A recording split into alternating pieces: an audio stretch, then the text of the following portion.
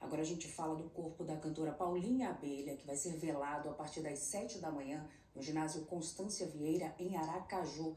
A vocalista da banda Calcinha Preta morreu nesta quarta-feira, aos 43 anos. A repórter Selma Souza tem os detalhes pra gente. Selma, boa noite.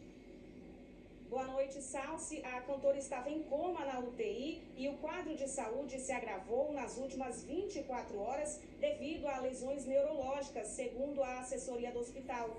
Isso levou a um comprometimento irreversível em diversos sistemas do corpo.